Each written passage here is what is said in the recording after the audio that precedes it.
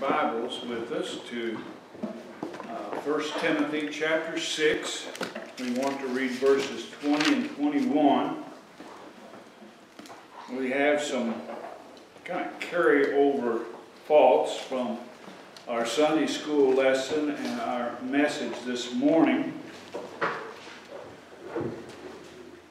We want to share with you, and there were some thoughts that I had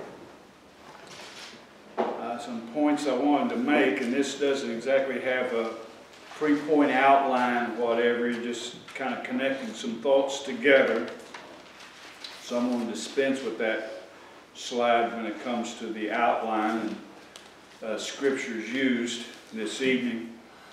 But uh, I had some initial thoughts, and then as I was looking for a verse to uh, you know, the scripture had several scriptures in mind, but which one to use as our text and starting point.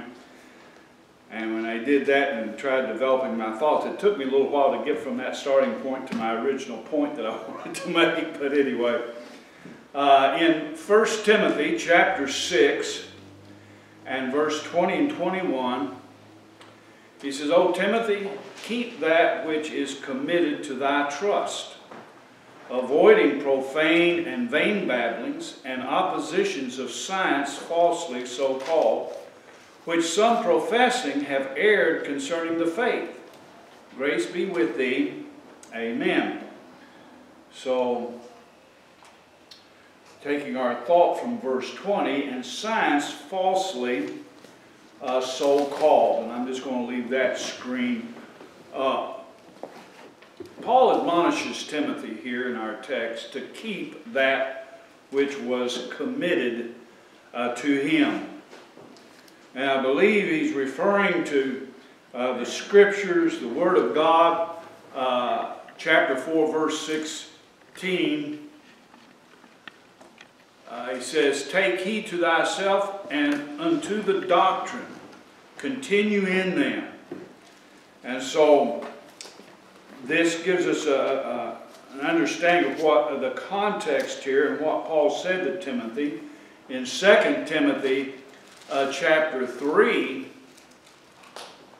uh, Paul uh, says to Timothy uh, that, uh, verse 14, But continue thou in the things which thou hast learned and hast been assured of, knowing of whom thou hast learned them and that from a child thou hast known the holy scriptures, which are able to make thee wise unto salvation through faith which is in Christ Jesus. All scripture is given by inspiration of God and is profitable for doctrine, for reproof, for correction, for instruction in righteousness, that the man of God may be perfect, thoroughly furnished unto all good works. I charge thee therefore before God and the Lord Jesus Christ, who shall judge the quick and the dead, at his appearing and his kingdom, preach the word. Be instant in season, out of season, reprove, rebuke, exhort with all long suffering and doctrine. For the time will come when they will not endure sound doctrine, but after their own lust shall they heap to themselves teachers having itching ears, and they shall turn away their ears from the truth and shall be turned unto fables. And so we see that which Timothy was charged to keep, that had been committed to his trust, was the scriptures, the teachings of the Word of God, uh, those things that he had been taught. Now, one of the things that we see from the scriptures that Satan has from the beginning endeavored to undermine our confidence in the authority and accuracy of the scripture. Uh, from the Garden of Eden. And there are several points, several scriptures I've used recently, I used in our Sunday school, I touched upon this morning, and no doubt I will use many times again in this lifetime. Uh, but they, they bear repeating and they bear us remembering uh, these verses and how uh, Satan operates. But Genesis 3 1 when Satan came to Eve in the garden and he said, Hath God said? He spoke to her, Hath God said? And he quotes part of what God said,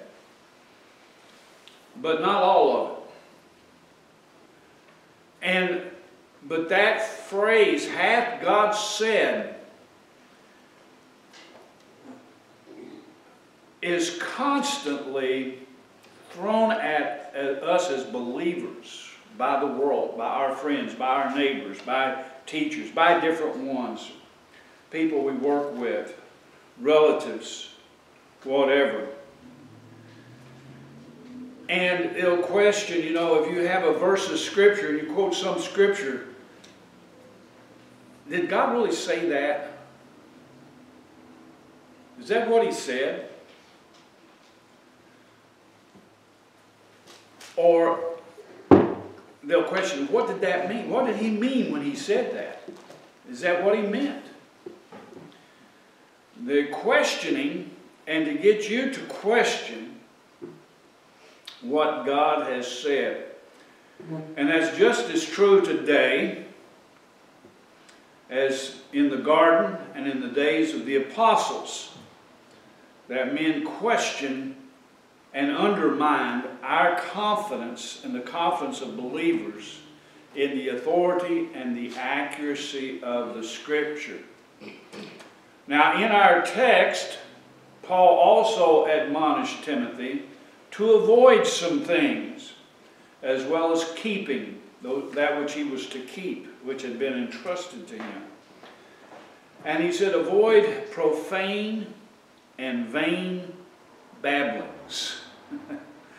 uh, an interesting uh, phrase. And we see that in 2 Timothy 2.16. Uh, when he said here, study to show thyself approved unto God, a workman that needeth not to be ashamed, rightly dividing the word of truth. Verse 16, but shun profane and vain babblings, for they increase unto more ungodliness. This is a phrase that Paul used uh, several times. And the idea of profane, something that is profane, a lot of times we think of common or worldly. It's common to the world, and it comes from, from what I was studying, a, the, uh, a word that's associated with the idea of the threshold, the door, and, and kind of crossing outside uh, or something coming from outside the threshold, the other side of the threshold.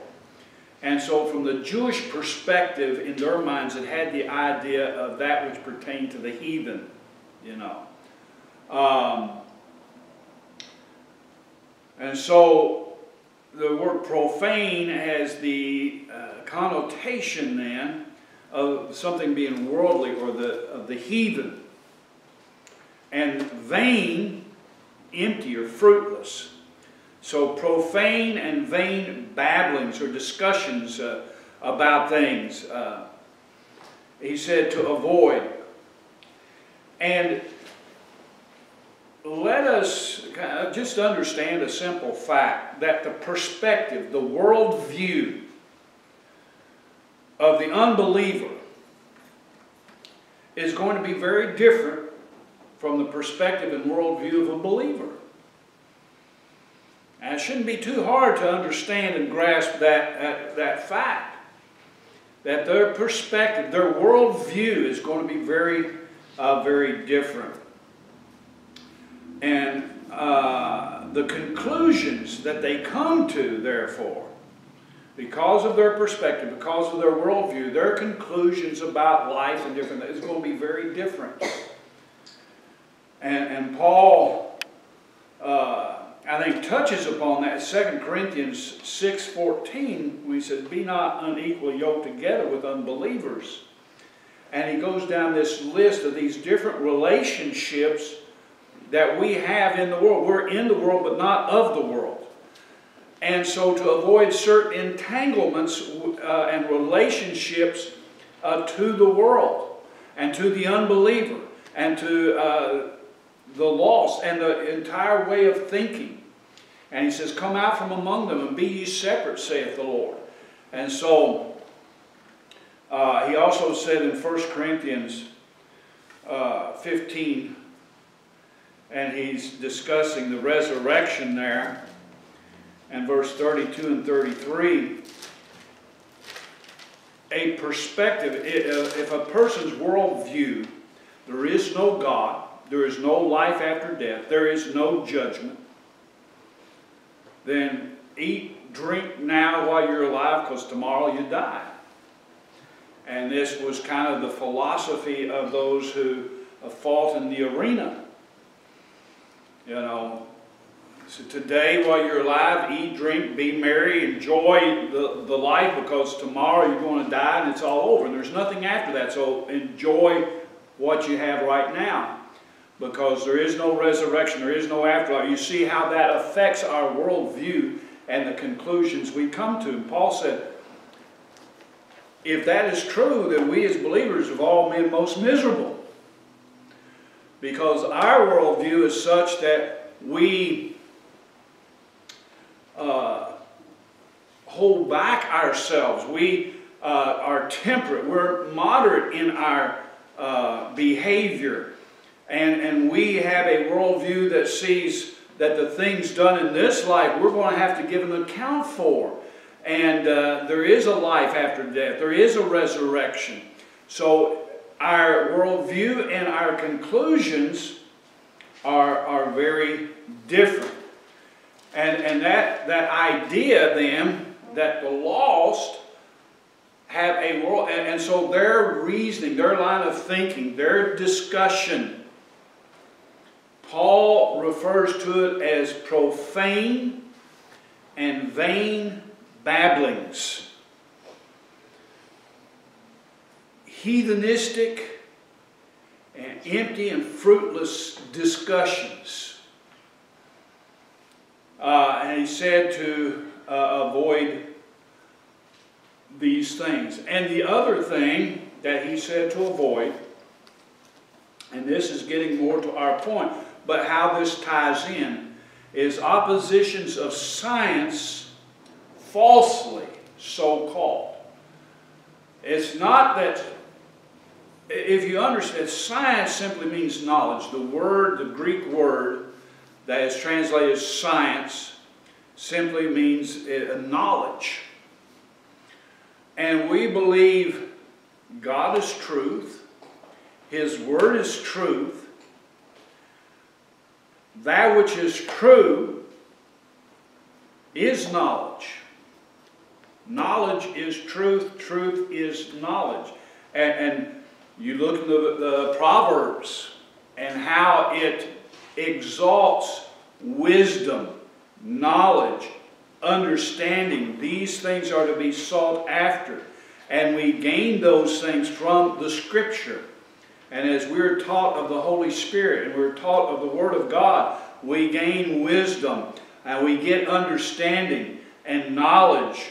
And so there is no conflict. There is no opposition between truth and knowledge. But that which claims to be knowledge falsely claims to be knowledge or falsely claims to be truth. Now there's a problem between truth and that which is falsely called truth. And uh, that's what Paul is talking about here that oppositions of science falsely so called.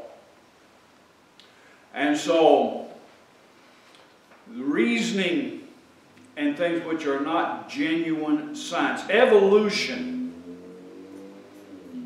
is not science. Evolution is a belief system. Now, we have been bombarded, brainwashed, to accept evolution as science. It's not science. It is a belief system.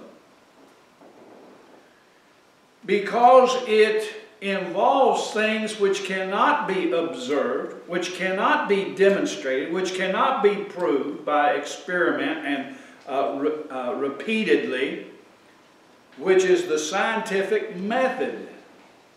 You observe things, you make up a, a, uh, a theory or something based on what you observed, and then you experiment to see if you can prove it.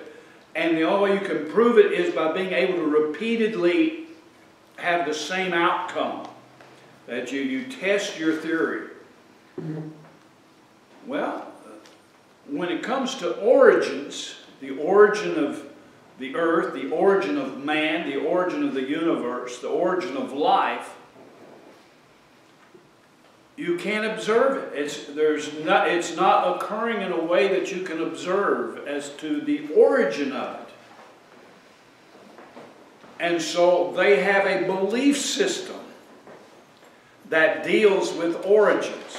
It's a belief system that is founded upon the principle no God. There is no God. And they've tried to establish a system to explain all of these things that leaves God out of it.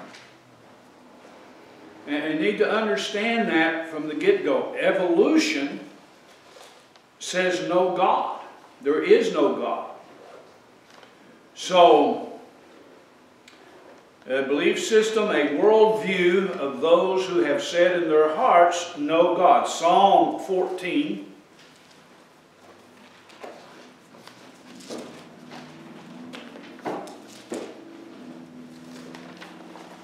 Psalm 14 and Psalm 53 are almost word for word. But says, The fool has said in his heart, There is no God. And he goes on to say, They are corrupt. They are corrupt. Their thinking is corrupt. The fool has said in his heart, no God. And it repeats the same thing in Psalm 53, verse 1. Now, when you read in Romans chapter 1, verse 8, to begin with verse 18, uh, you, um, says, For the wrath of God is revealed from heaven against all ungodliness and unrighteousness of men who hold the truth in unrighteousness, or the, the word there, to hold down, to suppress.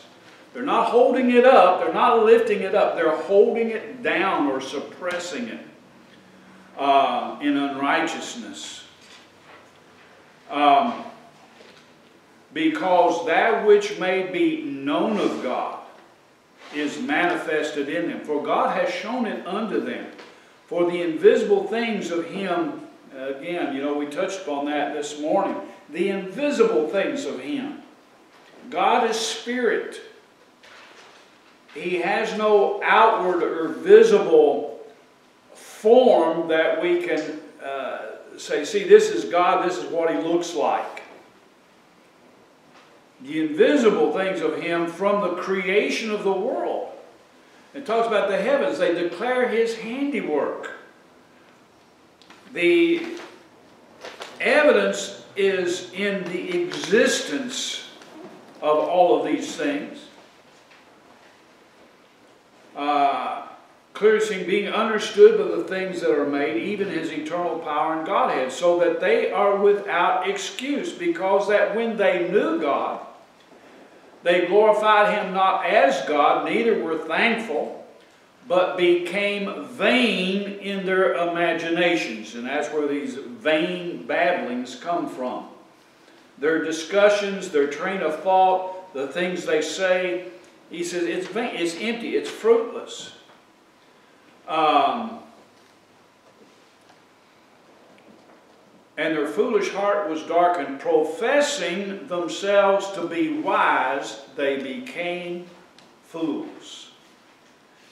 And so, those today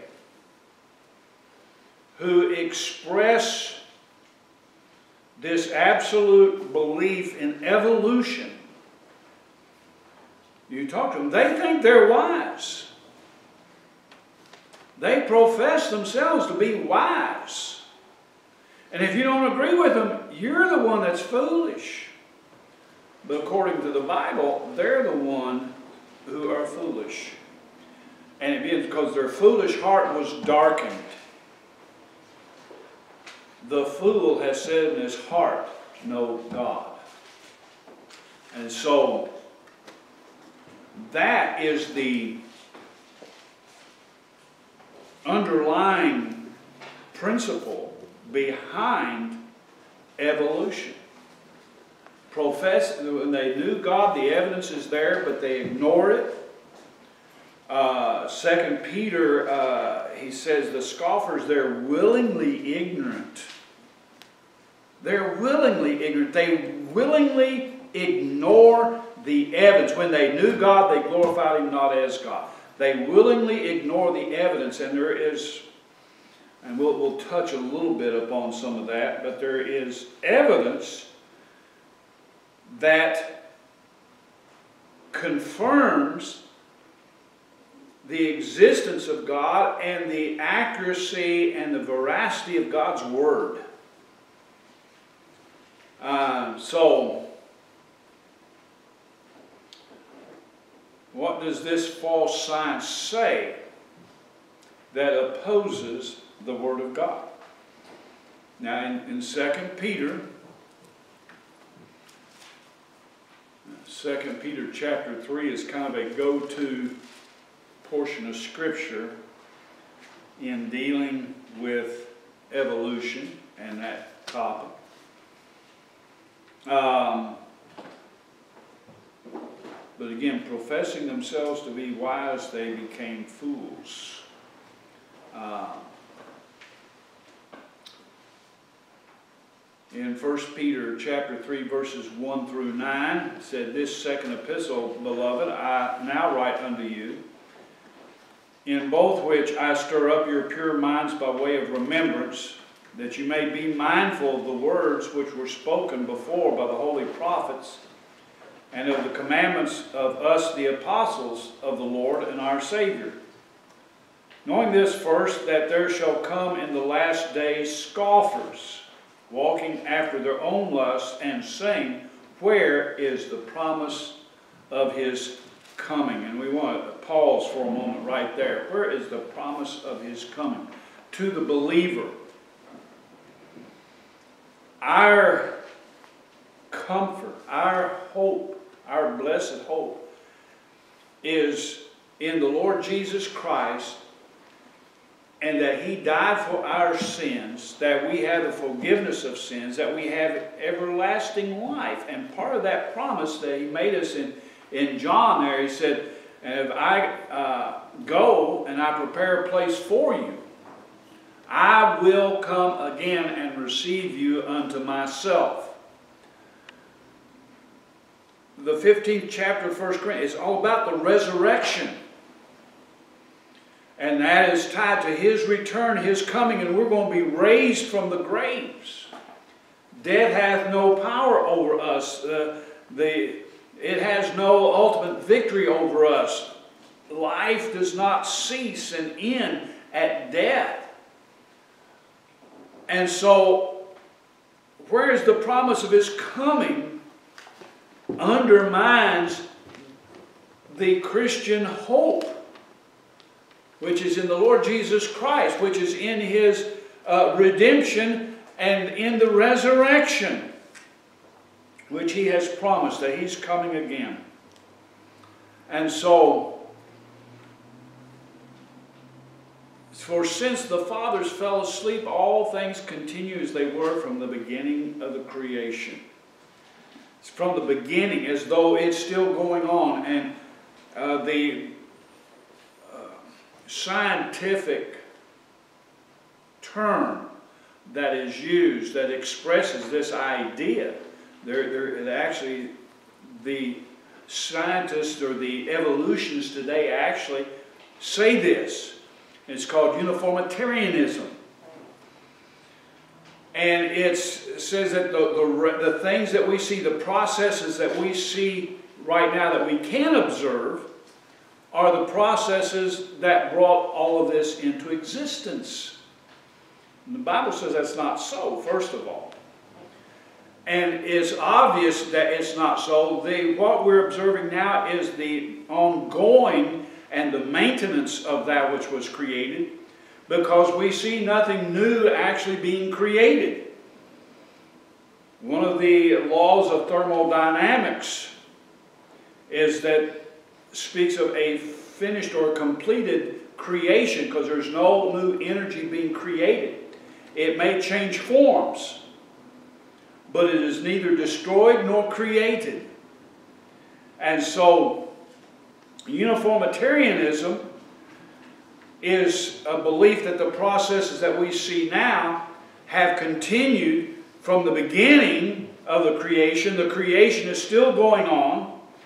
And uh, what we observe, and so they try to measure certain rates, and certain things are happening at certain rates, so you look backwards. But there's a number of assumptions made on that. And number one, that's not what created and brought the heavens and the earth into existence. They have not been able to, you know, because science is, you, you have a, an idea, you have a theory, you're able to duplicate it. You're able to produce it. You're able to do it over and over again. They've never been able to produce life. They cannot take what they say happened and, and make it happen. It doesn't work because those processes, and the Bible says that, those processes are not the same. He said, and so it goes on to say, for this they're willingly ignorant of. And it talks about the creation by the word of God. The heavens were of old, and the earth standing out of the water and in the water. And they're ignorant of the flood, whereby the world that then was being overflowed with water perished. And so these two uh, great events, they deny. They deny a worldwide flood, and they deny the creation, a literal six day creation. And so, as we uh, look at this, the Genesis account of creation says that God created the heavens, the earth, and everything that's in them in six literal 24 hour days. I said, well, that's just not possible. Well, not from their perspective or point of view, and not by the processes they observe today. No, it's not. But that's not how it came about. God said, and it was so. Ex nihilo, uh, out of nothing, from nothing. Uh, he created all things. The genealogical records in Genesis gives us an age for the earth and the universe approximately 6,000 years to this, this point in time. Not millions of years. And so they, and actually when evolution first started to be taught, and they first started espousing this idea, it was uh, hundreds of thousands of years, not millions of years. And, the more that they have been able to discover and learn, the more impossible they realize that was. And so they have to keep adding millions and millions and millions of years. And, and the age of the earth has grown uh, quite rapidly uh, in the process. And, and that right there shows the, the fallacy of their base assumptions that they were off, that they were wrong. But the false science of the evolutionist says the earth must be millions of years old. And, and you just pick up any book, children's books. Children love dinosaurs. Children are fascinated with dinosaurs. I remember as a kid, I was fascinated with dinosaurs. And I remember uh, making a little uh, Stegosauruses was one of my favorites to make with the little plates on their back sticking up and the spikes on the tail. And, I used to make them out of clay and, and different things. And, uh, and, and children are like, they, they're fascinated, they're attracted to that. And so every children's book you pick up, the very first words, millions of years ago. Um,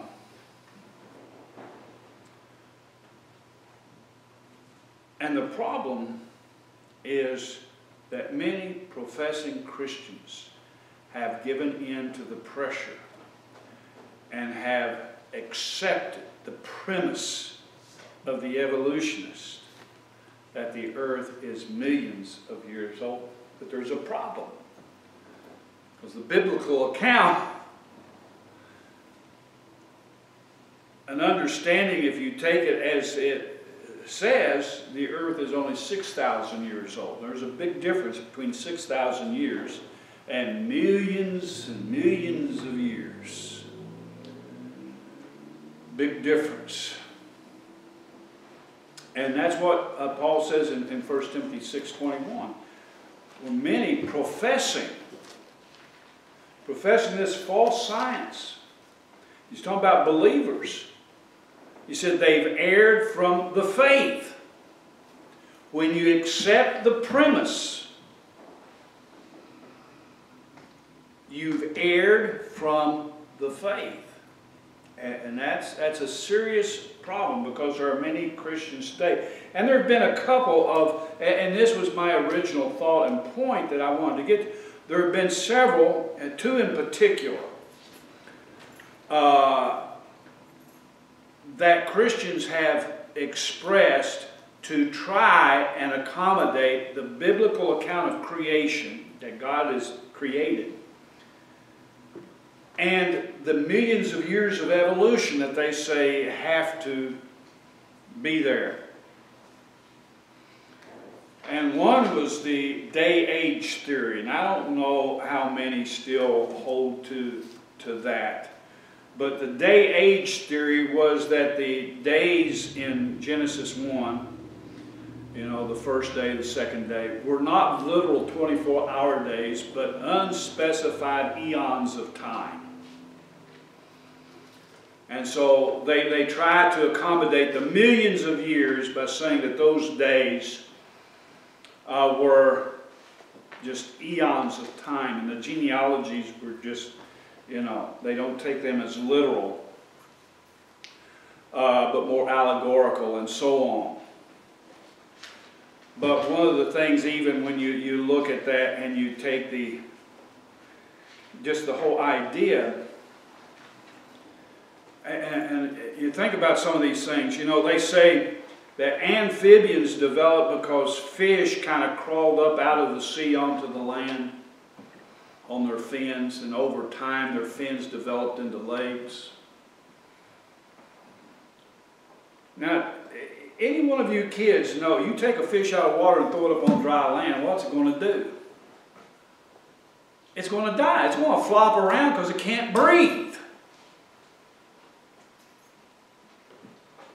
It's not going to exist long enough to evolve into something that can breathe on the land.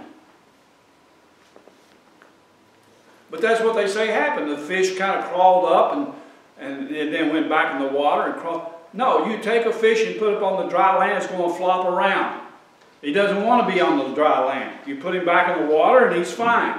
He's not going to... The fish doesn't come up on dry land of its own free will. Now, there are some fish that they, they show that will actually come up out of the water down in Florida, I think, and cross the roads and all. You know, why did the fish cross the road to get to the water that was on the other side, you know? Um, but it's a fish. It's not an amphibian. It's a fish. Uh, but this is, you know, one of the, the fallacies that how did these animals exist for the millions of years that it took them to evolve into something else so different that it could not exist in between. It couldn't survive in between.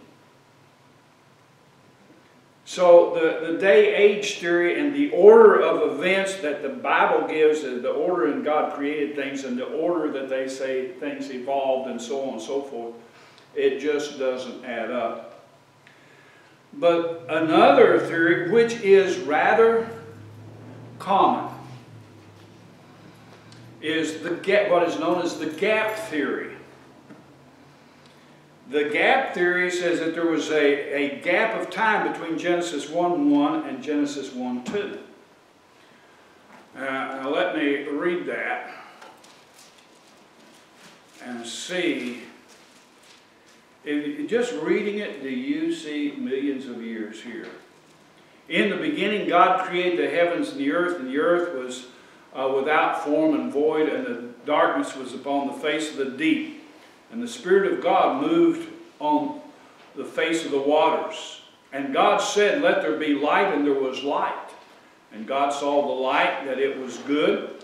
And God divided the light from the darkness, and God called the light day, and the darkness he called night, and the evening and the morning was the first day.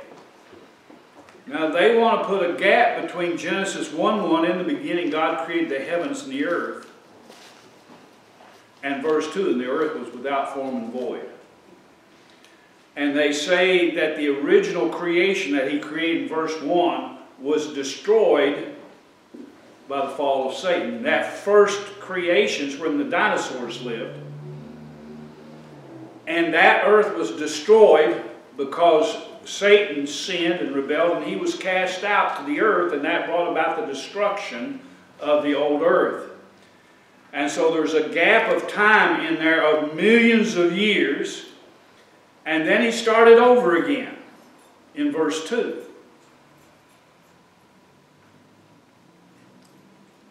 That's, that's really stretching. However, and I know Sister Jenny likes Scofield Bible. You look at your notes in Genesis, it subscribes to the gap theory, what is known as uh, dispensationalism or hyper dispensationalism. That is very common amongst them.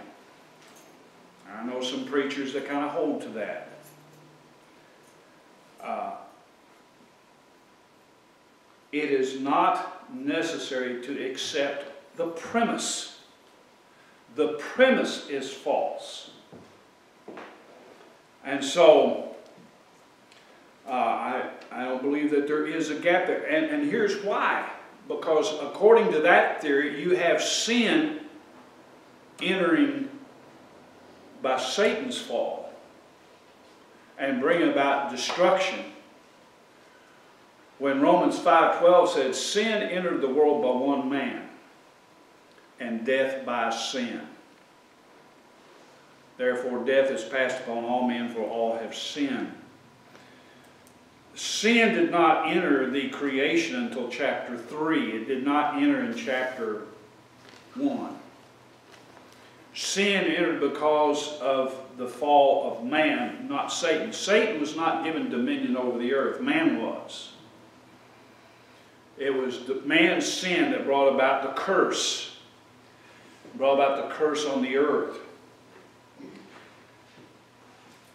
There is biblical evidence that man and dinosaurs were contemporaneous and lived together on the earth there is physical evidence in the fossil record that they lived together and were contemporaneous upon the earth. Uh, evolutionists don't want to admit that. There's a lot of evidence in the fossils, in the there's evidence of a worldwide flood, and in that evidence of a worldwide flood, it counter acts or counter, uh, it counters the whole idea of evolution in the millions of years and the layers being laid down slowly over millions of years of time. Uh, those, layers and the rock formations were laid down very quickly over a very short period of time as a result of a cataclysmic flood. Uh, that's why you have tree trunks standing vertical through several different layers. Those layers are sedimentary. Sediment is what is laid down in floodwaters. Sediment is what is stirred up by the flood, and then as the waters recede or slow down, those sediments begin to, to filter out and drop out. And anything floating there gets buried in those sediments. They were not laid over millions of years. That's why you can have a tree trunk that was ripped off top and bottom, standing vertical through many, many layers of different layers of sedimentary rock. There's just so many things out there that, uh, but gap theory, I think it's, it's false theology to go with false science. I don't subscribe to the gap theory. I, uh, I believe, let me put it that way, instead of trying to get out the word ascribe, I, I believe in a literal six-day creation with no gap, and that the genealogy is accurate. God said exactly what, what it was, and that the earth is approximately 6,000 years old, not millions and millions of years. So, the whole premise of evolution is false and therefore is to be rejected. Uh, the earth is not millions of years old, and as I said, there is much evidence that suggests a much younger age for the earth, um, such as oil and gas under pressure within the earth. Because the geologists know that, that study that sort of thing. The geologists that go out and study the rocks to find oil deposits that those rocks and things, the pressure that the oil is under, the pressure the gas is under, uh, leaks off at a known rate. And if the earth has been here for even 20,000 years, that's far, far short of the millions of years that they say that we've been here. If that oil and that gas has been in the earth for more than 20,000 years, there would be no pressure. It would have, the pressure would have leached out through the rock. Because rock's porous, and the gases pass through it. And they know this.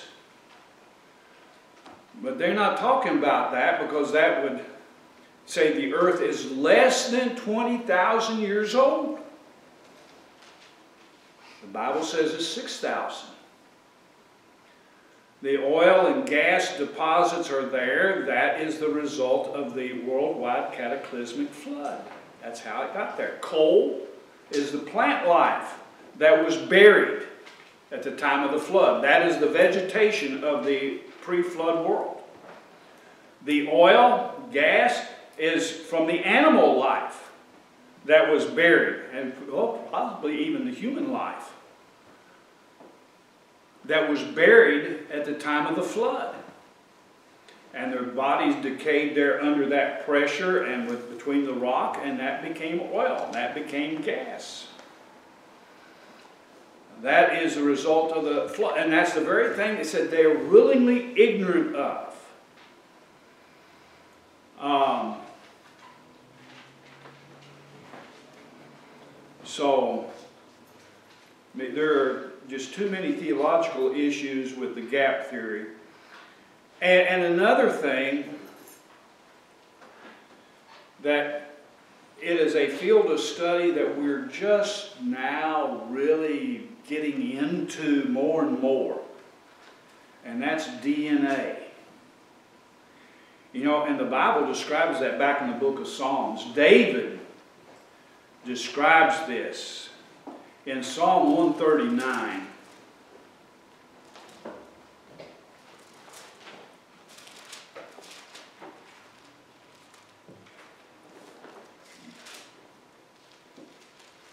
We should be familiar with the phrase, I'm fearfully and wonderfully made. Verse 14, he says, I will praise thee, for I am fearfully and wonderfully made. Marvelous are thy works, and that my soul knoweth right well. You know, David, just in considering himself and what a, wonderful work, creation, just the human body is. And he said, as he contemplated this, and, and understand too, David is a prophet and he spoke under the inspiration of God. And God, you know, revealed these precious truths to him. And, and, and so he said, I will praise thee, for I am fearfully and wonderfully made. he says in verse 5, My substance was not hid from thee when I was made in secret. Talk about when he was conceived. And curiously wrought in the lowest parts of the earth, or in the womb. Thine eyes did see my substance, yet being unperfect. And in thy book all my members were written which in continuance were fashioned when as yet there was none of them. Talking about at conception, and our members, our body parts, our hair, our eye color, our bone structure, all these things are written in our DNA. And as we develop and we grow in, in the womb, the continuance there, you know, and he said, this isn't hid from you. You know, he talks about, you know, we think about, he says that he's numbered the hairs of my head. We think, well, after I'm born, and, you know, and, and he knows, but he knew us before we were born, before we were conceived. And that DNA, and the more you study about DNA, that is the blueprint. And, and everything, it, it, the apple, the orange, the pear, the wolf, the dog, the cat, the horse, the human, our DNA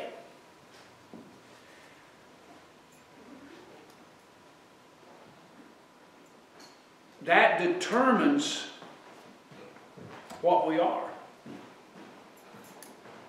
And the more they study it, it, goes to prove more and more that we don't evolve our DNA. And you can have variations and mutations within a kind. And scientifically, observation over and over again, every mutation has been a defect and is not passed on necessarily. But there, there are some things uh, that are passed on. There are things in our DNA that get passed on. We, we don't even understand it right now completely ourselves. But you cannot cross kinds with all the, the things that come forth. You have variations within a kind. And that's one of the things, you know, the Bible talks about kinds of animals, kinds of things. And the people say, how can you get all those animals on the ark? He didn't. He only had to have a pair. Actually, the clean, there was seven pairs. And of the unclean, there was just the, the one pair. Uh, but you only needed a kind. You didn't need every one of them, one of every kind of dog. You just need one, one pair of dogs. And they didn't even have to be the same kind, or I mean the same breed. But the, a dog is a dog, that's a kind. And a dog can mate with a dog and they're going to produce a dog. Depending on the genes and the genetic, the DNA structure and how it pairs up, as to what its characteristics are, but it's still a dog. You have different kinds of cats, but they're still a cat. You have different kinds of breeds of horses, but they're still a horse, and so on. Uh, but you can't cross breed between kinds and perpetuate that because uh, the one is sterile and you have to go back and, and continue to cross breed. And the mules are like that. The mules are crossbreed. They can't re, uh, mules can't reproduce more mules uh, because one is sterile. And so that is something that is scientific. That's something they've proved. It's something they've demonstrated over and over again. Hybrids, which is crossing kinds, are sterile. As, as one of the problems with a lot of the hybrid grains and foods that we have. is uh, that, you know, used to, you grew a crop of corn, you could keep some of it and plant it the next season and plant more corn. But the hybrids, you can't do that. You have to go back and buy more seed each, each season to, to plant. You can't use what you planted this season because uh, that's a problem with the hybrids. Well, that shows that evolution cannot take place. Like that fish. The fish is a fish. It can't survive for millions of years on dry land in order to develop legs and lungs to be able to breathe out of the water. It is not going to happen. And uh, an animal that dies, I mean, our roads are littered with roadkill. Any of, the, any of that going to become a fossil? No. Why? Bacteria, it deteriorates, it goes back into the dust. How are fossils produced? Not over millions of years, but very suddenly as they was buried in the flood under that sedimentary rock. They were buried alive. They were buried together many times. And that, that's what formed and preserved them. You know, uh, you can go down in Kentucky, Mammoth Cave, and they have a mummified Indian in there that was down there that was uh, collecting gypsum or something. One of the rocks fell on it. And he laid there for how many hundreds of years. And his body still preserved because the conditions was such that it preserved his body. And mummified him naturally. So you have instances where that happens. But normally, what happens, something dies, it deteriorates. It goes back to the dust. There's bacteria, uh, God created the, the bacteria and things uh, so to take care of that and, and to dispose of dead bodies and they deteriorate and they break down. They do not become fossils except in certain extreme cases. So the whole idea evolution. The scoffers questions God's promise. Where is the promise of his coming? His coming is the believer's hope. His coming is the scoffer's dread because he's coming in judgment. He's going to judge the world in righteousness by that man. And that is the real reason. You know, Satan's lie was kind of threefold. Hath God said, Thou shalt not surely die, thou shalt be as gods. And so, man rejects the idea of God because he rejects the idea of being accountable to God for his behavior knowing instinctively I have sinned, I've done bad things, and God's not going to be happy with me.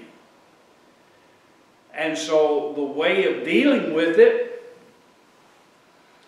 you know, like even in, in modern psychology, a lot of times in dealing with problems, emotional problems, which has to do with guilt, deny that the, the action was wrong. Blame it on somebody else.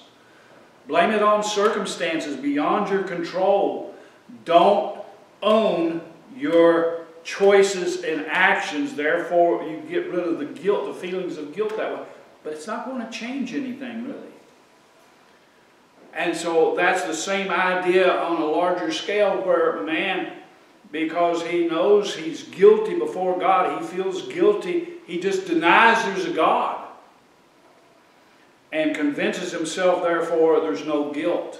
I have nothing to be guilty about because there is no God. There is no uh, lawgiver. There is no judgment. There is no life after death. There is no heaven. There's no hell. They don't mind the heaven so much, but they don't want to acknowledge hell, so they get rid of heaven also. Neither one exists. They deny all these things because at their core, they recognize their guilt.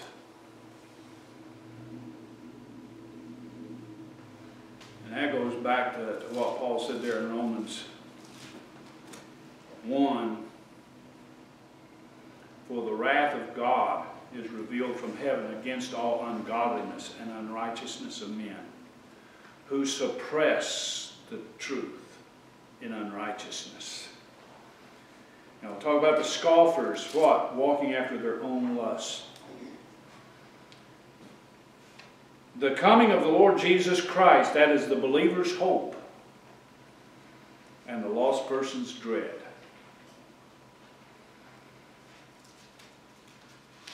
And it's kind of like the, the idea of just burying your head in the, in the sand and thinking, well, if I can't see it, I don't believe it there, then it doesn't exist. Uh, yes, it does. Your hiding doesn't make it go away. Your denying it doesn't make it untrue. And uh, but that is one of the things, oppositions of science falsely so called. And it goes right in there with the profane and vain babblings. It is from a worldview that has already said and made up its mind in their own heart there is no God. So, from a believer's point of view, one thing is why would you accept the premise as a believer? You believe in God, you believe the scriptures. Why would you accept a premise that is based on no God? That does not make sense. Reject the premise. Anyway, let us get our Bibles then.